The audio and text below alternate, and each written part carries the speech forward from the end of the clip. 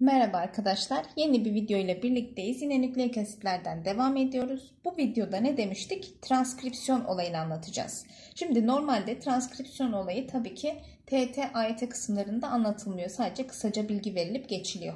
Ama bizler tabii ki tüm detaylarıyla bilmemiz gerekiyor. EABT için gereklidir. O zaman şöyle transkripsiyon diye başlığımızı yazdık. Nedir transkripsiyon? Ben size burada mesajcı RNA transkripsiyonunu anlatacağım arkadaşlar.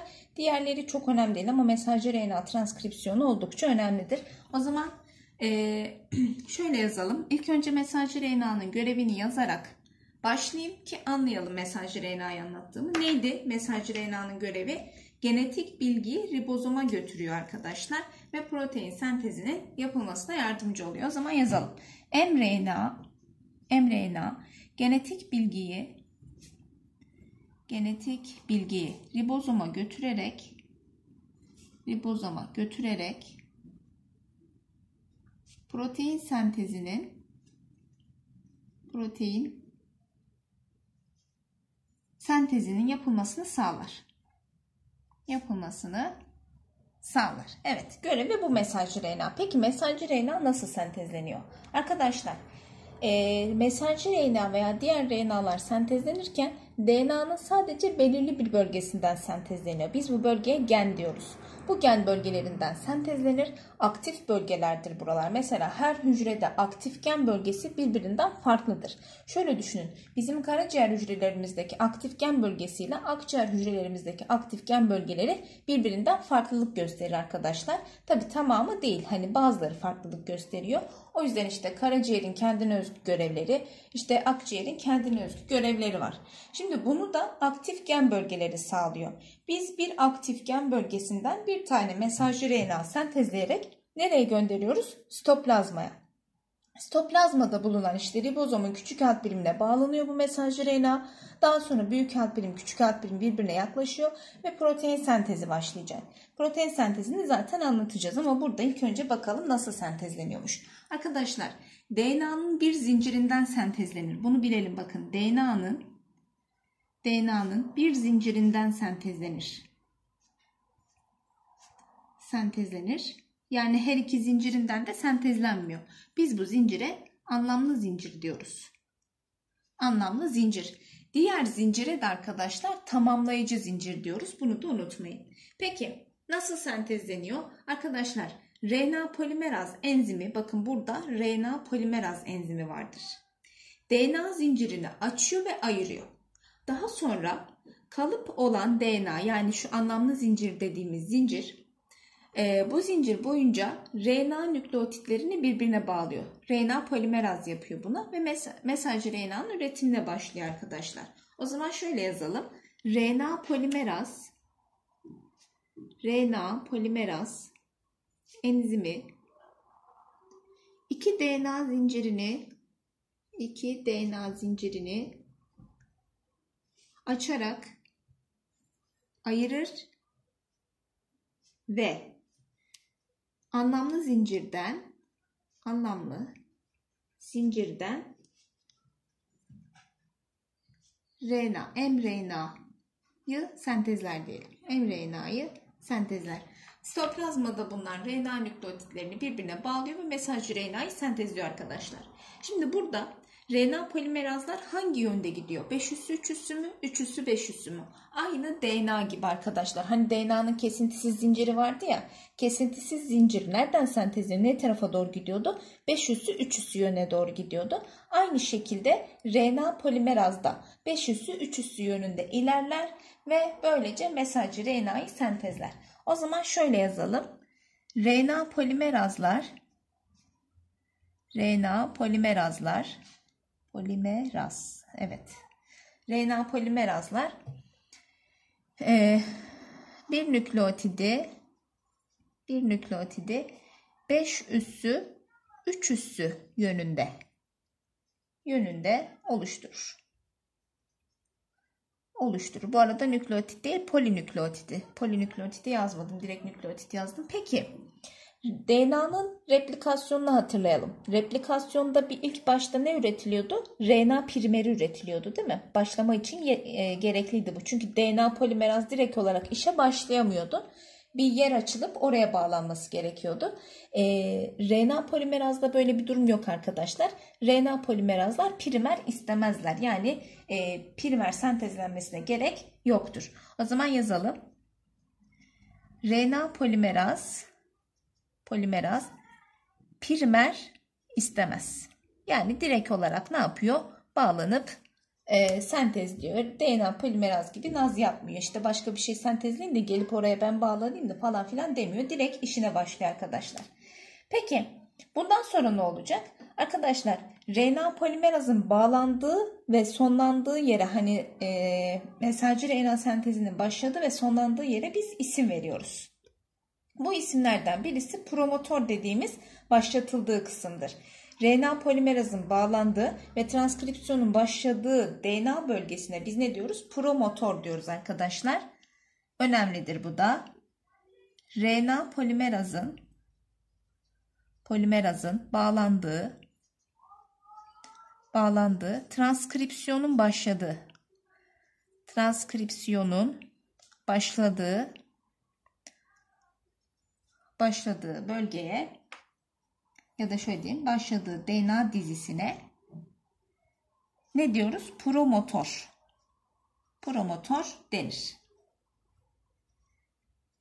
Peki tamamlandığı bölge ne, bölgeye ne diyoruz arkadaşlar? Tamamlandığı bölgeye de terminatör diyoruz. Yani diyor ki artık burada dur bitiyor diyor. O zaman şöyle yazalım. Transkripsiyonun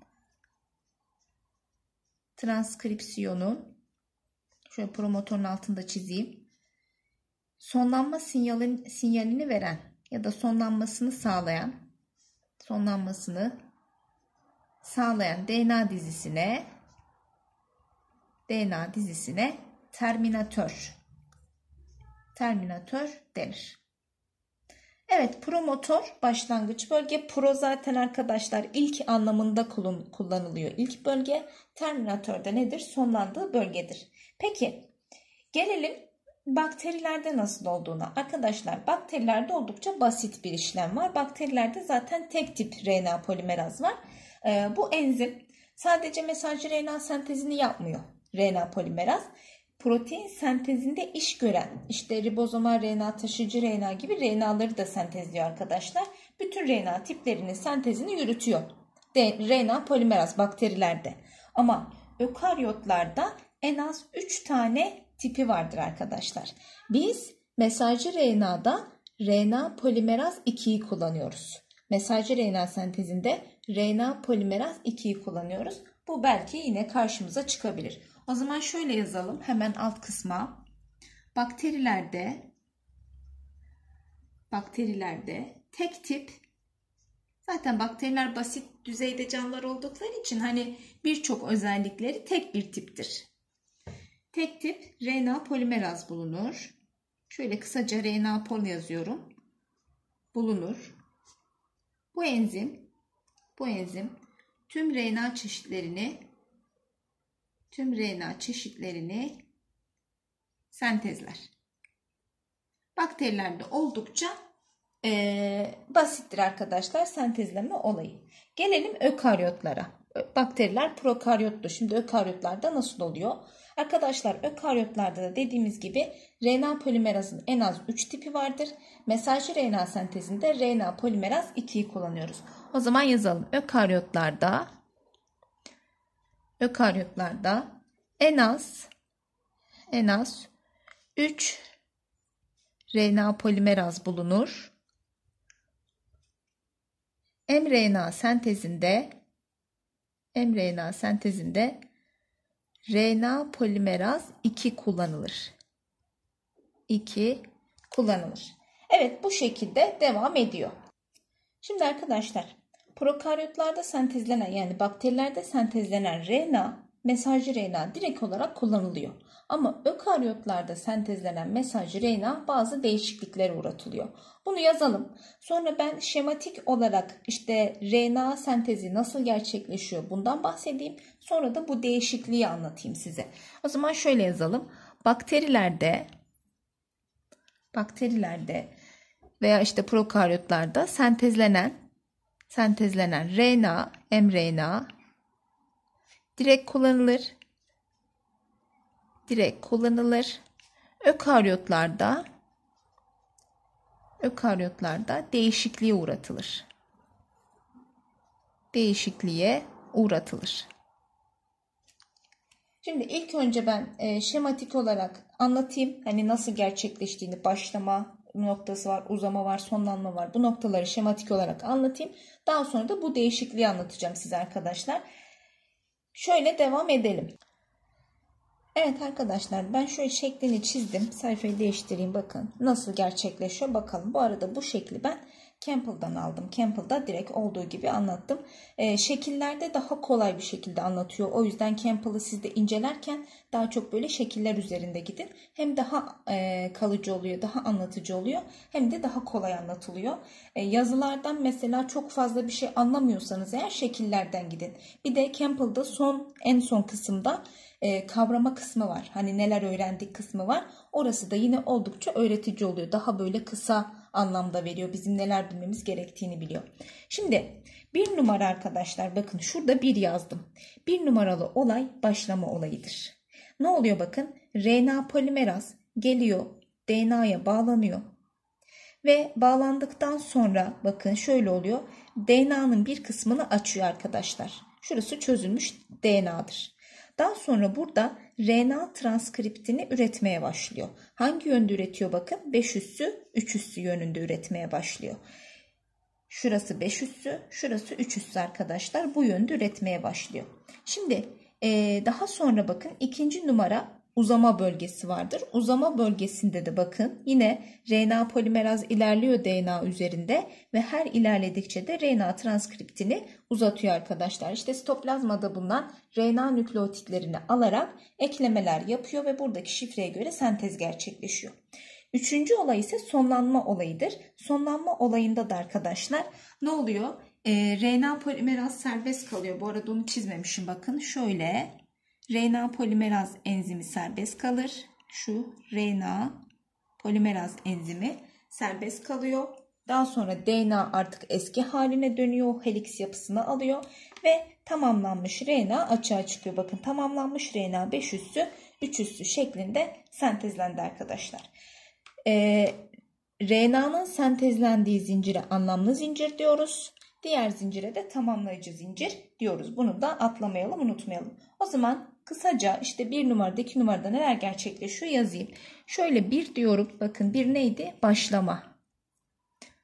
Başlama olayı. Nasıl gerçekleşiyor başlama olayı? Arkadaşlar RNA polimeraz RNA polimeraz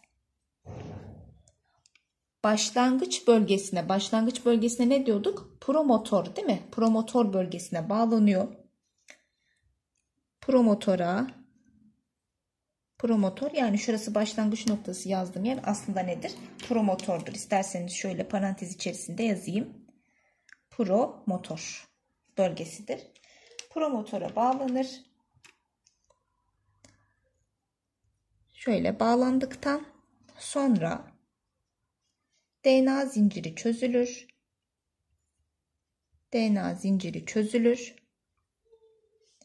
Ve arkadaşlar enzim bakın ve enzim kalıp zincir boyunca kalıp zincir dediğimiz anlamlı zincir kalıp zincir boyunca boyunca ilerler.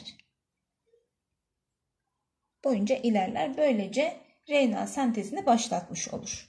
Şimdi geliyoruz ikinci kısma. İkinci kısımda nedir? Uzama bölgesidir. Yani uzama olayıdır. Uzama. Burada ne olacak?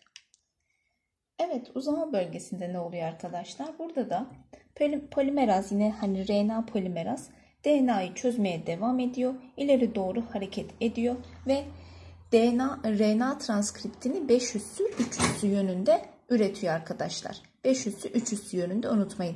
DNA da sentezlenirken ne oluyordu? Yine 5 üssü 3 üssü yönünde sentezleniyordu. İkisinde de aynı olay geçerlidir. Peki e, tra transkripsiyon devam ederken hani geride kalan DNA'ya ne oluyor? O da tekrardan eski halini yani o helix halini almış oluyor arkadaşlar. O zaman yazalım. Polimeraz polimeraz yani RNA polimeraz DNA'yı çözerek DNA'yı çözerek ileri doğru hareket eder diyelim. ileri doğru hareket eder. Hareket eder ve e, RNA transkriptini RNA transkriptini 5 üssü 3 üssü yönünde yönünde sentezler.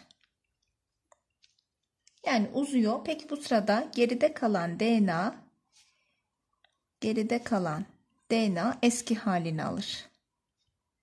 Eski halini alır arkadaşlar. Evet uzama da bu şekilde e, oluyor. Gelelim sonuncusu sonlanma kısmına. 3 diyoruz sonlanma.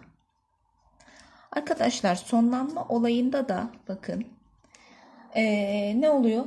Polimeraz transkripsiyon sonuna geldiğinde hani terminatör bölgesi vardı ya terminatör bölgesine geliyor RNA polimeraz ve artık transkripsiyonun bittiğini anlıyor.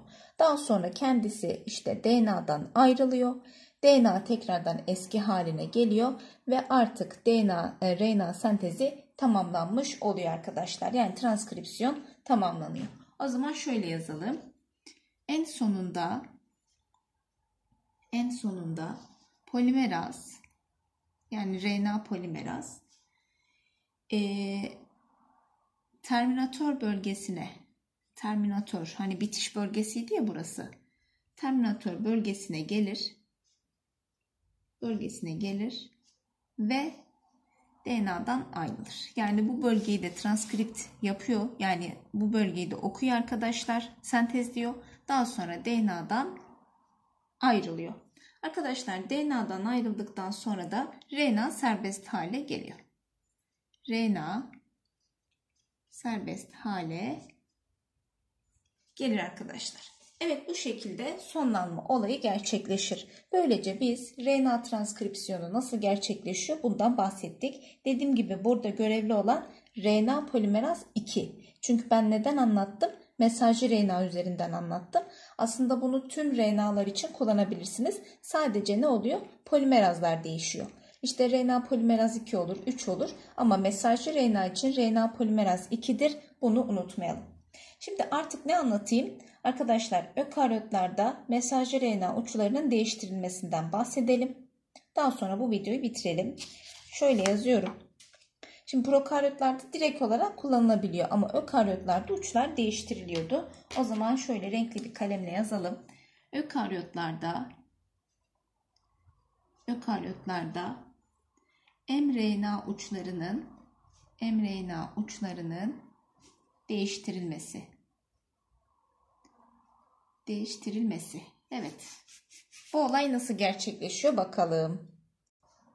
Şimdi arkadaşlar mesaj RNA sentezlendikten sonra bunun her iki ucu da değiştiriliyor. Özel bir yolla değiştiriliyor. İlk olarak 500'sü olan uç değiştirilir arkadaşlar. Burada yaklaşık 20-40 nükleotitlik bir kısım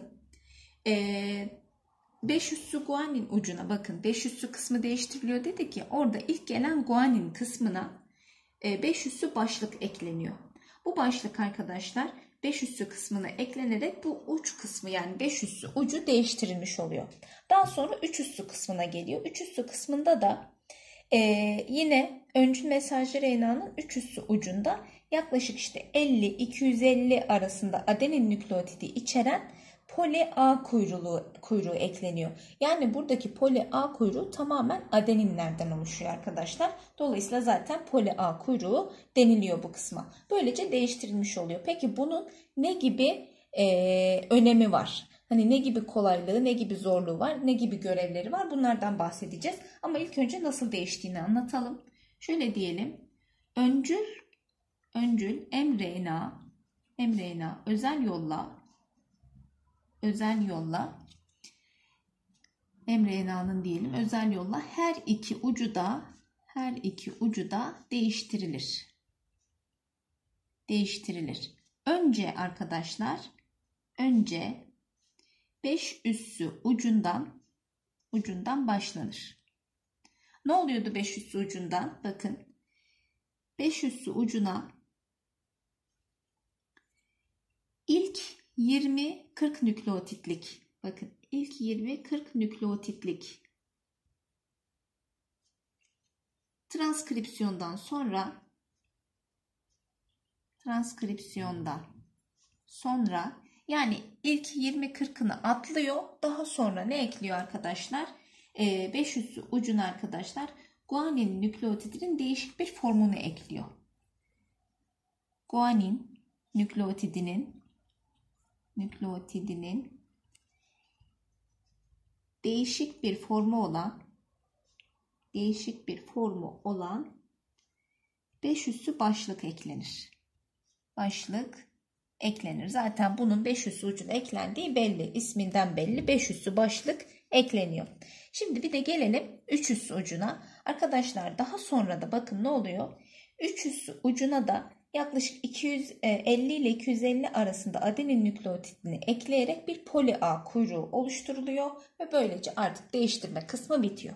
O zaman yazalım 3 üssü ucuna 50-250 nükleotitlik nükleotitlik adenin bakın adenin çoğunluğu adenin nükleotidinden oluşan adeninden oluşan diyelim oluşan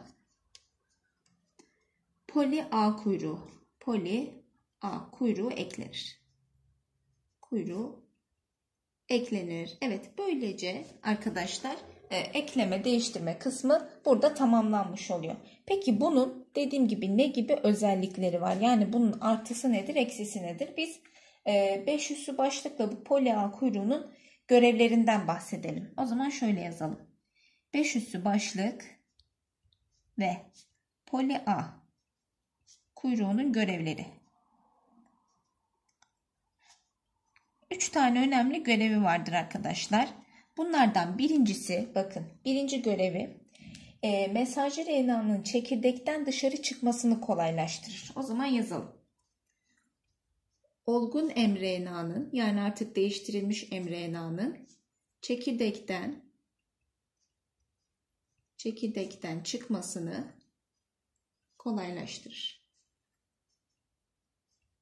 Kolaylaştırır. Peki ikincisi nedir? Arkadaşlar ikincisi de RNA'nın hidrolitik enzimler tarafından e, sindirilmesini yani parçalanmasını engeller. mRNA'nın hidrolitik enzimler tarafından hidrolitik dediği hidroliz enzimleri hidrolitik enzimler tarafından parçalanmasını parçalanmasını engeller. Evet arkadaşlar üçüncüsü de sitoplazmaya ulaştığında bakın e, mesajcı RNA sitoplazmaya gidiyor ya sitoplazmaya uğraştığında ulaştığında ribozomun e, mesajcı RNA'nın 5 üssü ucuna bağlanmasını sağlıyor. O zaman yazalım bunu da. mRNA sitoplazmaya ulaştığında sitoplazmaya ulaştığında ribozomun ribozomun 5 üssü ucuna bağlanmasını bağlanmasını sağlar. O zaman bu 5 e, üssü başlıkla pola kuyruğunun önemli görevleri varmış arkadaşlar. Evet bu şekilde bunların görevleri. Devam edelim. Arkadaşlar şimdi önemli bir olaydan daha bahsedeceğim. Şimdi karşınıza intron ve ekson dediğimiz bazı kavramlar çıkabilir. Nedir bu intron ve eksonlar? Arkadaşlar bizim e, işte ökaryotlarda bulunan DNA'da bakın DNA'da nükleotit dizisi sürekli değildir ve parçalara bölünmüştür. Hani bu e, mesaj RNA'yı kodlayan kısmı var ya bu kısım direkt sürekli değildir. Parçalara bölünmüştür. İşte RNA'yı kodlamayan e, bölgelere biz intron diyoruz. RNA'yı kodlamayan bölgelere intron diyoruz. RNA'yı kodlayan, şifreleyen bölgeleri de arkadaşlar ekson diyoruz. İntronlar ilk başta çıkarılıyor. Bakın ilk başta çıkarılıyor. Tamamen eksonlar kalıyor. Böylece işte hani mesajcı RNA tamamen eksonlardan oluşuyor arkadaşlar. İşte bu, bu olaya bakın intronların çıkarılıp tamamen eksonların kaldığı olaya da RNA splice işlemi diyoruz. Tamam bu üç tane kavramı bilelim. Böylece RNA'yı artık bitirmiş olalım. Daha sonra ribozinlerden bahsedip artık konuyu bitireceğim. O zaman şöyle yazalım arkadaşlar. Şu şekilde diyelim. Bir ökaryotik ökaryotik RNA'yı kodlayan RNA'yı kodlayan DNA dizisi DNA dizisi parçalara bölünmüştür. Parçalara bölünmüştür. Arkadaşlar kodlama yapan bakın kodlama yapan bölgeler arasına yerleşen bölgeler arasına yerleşen yerleşen ve kodlama yapmayan kodlama yapmayan kısımlara kısımlara ne diyoruz? Intron. Bakın in zaten araya hani ara gibi bir şeydir. Öyle bir anlama geliyor. Biz bu bölgeye ne diyoruz? Intron diyoruz. Kodlama yapan kodlama yapan yani amino asite karşılık gelen kısma da ne diyoruz? Amino aside karşılık gelen kısımlara ekson denir. Ekson denir. İntron ve eksonlar bu şekilde arkadaşlar. Dediğim gibi e, stoplazmaya geçen hani az önce bahsettik ya RNA stoplazmaya geçiyor. Polia kuyruğu eklendikten sonra 5 üssü başlık eklendikten sonra işte bu oluşan RNA tamamen intronları çıkarılmış eksonlardan oluşan RNA'dır arkadaşlar. Böylece ne oluyor? Sentez e, yani amino asitlerin o bir araya gelip protein sentezi yaptığı olay protein sentezi kesintisiz gerçekleşiyor. Biz bu eksonların e, durup intronların çıkarılması olayına RNA splasi olayı diyoruz. Bunu da unutmayalım yazalım hatta şöyle. Ne diyoruz? Stoplazmaya çıkan stoplazmaya çıkan mRNA mRNA e, kısaltılmıştır. Kısaltılmıştır. Yani arkadaşlar yani intronları intronları çıkarılmış. Sadece sadece eksonları kalmıştır. Eksonları kalmıştır. Bu olaya bu olaya RNA splice'ı denir splice'ı denir. Evet RNA ile ilgili bilmemiz gereken olaylar da bunlar arkadaşlar. RNA'nın nasıl sentezlendiğini anlattık. Mesajcı RNA uçlarının değiştirilmesini anlattık. Bu uçlar ne işe yarıyor bunlardan bahsettik. Introndan, eksondan bahsettik. RNA splice'ından bahsettik. Şimdi bir de size bir şeyden daha bahsetmek istiyorum. Şöyle kısacık bir yere yazacağım. Arkadaşlar ribozimlerden bahsedeceğim. Nedir ribozim? Biz enzimlerin tanımını yaparken dedik ki enzimler proteinlerden oluşur dedik. Not olarak yazdırdım ribozimler hariç. Ribozimler RNA'dan oluşur dedik. Peki nedir bu ribozimler? Nasıl çalışırlar? Hemen yazalım bir başlık olarak. Ribozimler. Ribozimleri de anlattıktan sonra transkripsiyon işlemini bitireceğiz. Translasyona geçeceğiz. Arkadaşlar ribozim enzim olarak işlev gören RNA'lardır. Bakın enzim olarak işlev gören işlev gören RNA'lardır. Şimdi biz TYT ayeti anlatırken ribozimlerden bahsetmiyoruz. Hani belki fen liselerine bahsedebiliriz ama Anadolu liselerine, meslek liselerine bahsetmiyoruz arkadaşlar. Direkt diyoruz ki enzimlerin yapısı proteinlerden oluşur. Ama eğer fen lisesine girecek olursak ne diyeceğiz? Ribozimleri de şöyle bir not olarak yazdıracağız. Ama bizim detaylı olarak bilmemiz lazım. Arkadaşlar ee, bu ribozimler keşfedildikten sonra az önce de söylediğim gibi tüm enzimlerin protein yapılı olduğu işte kanısı görüşün olmuştur, çürütülmüştür. Peki RNA'nın hangi özellikleri enzim olarak işlev görmesini sağlıyor? Şimdi bu özelliklerden bahsedelim. O zaman yazalım şöyle. RNA'nın 3 özelliği 3 özelliği enzim olarak enzim olarak işlev görmesini sağlar. İşlev görmesini sağlar. Bunlardan birincisi nedir? Arkadaşlar RNA tek zincirli olduğu için kolaylıkla 3 boyutlu yapı halini alabilir. O zaman birinci özelliği bu. RNA tek zincirli olduğu için olduğu için kolaylıkla kolaylıkla 3 boyutlu olabilir. İkincisi nedir? Arkadaşlar ikincisi de amino asitler gibi RNA'daki bazlar da e, katalizleme işleminden sonra ne yapıyor? İşlevsel e, katalizleme işlevinde görev yapan gruplardan oluşuyor. Bu yüzden de RNA yine enzim özelliği kazanıyor. O zaman şöyle yazalım. Amino asitler gibi. Şimdi amino asitlerde de sonuçta kodlar var. RNA'da da kodlar var. Ya kod dediğimiz hani o kodonlar var ya üçlü nükleotitler kodonlar. E bunlar ne yapıyor? Katalizleme işlevinde görev alıyor. Amino asitler gibi RNA'da da RNA'daki bazlarında diyelim. Bazlarında katalizleme görevi vardır. Katalizleme görevi olabilir. Ve son olarak üçüncüsünü de anlatalım. Videoyu bitirelim. Arkadaşlar son olarak da şunu söyleyeceğim. Ee, RNA'nın diğer nükleik asitlerle yani diğer nükleik asit molekülleriyle hidrojen bağı oluşturma görevi vardır. Yani özelliği vardır. Bu özellik de yine katalizleme e, aktivitesinde etkili olabilir.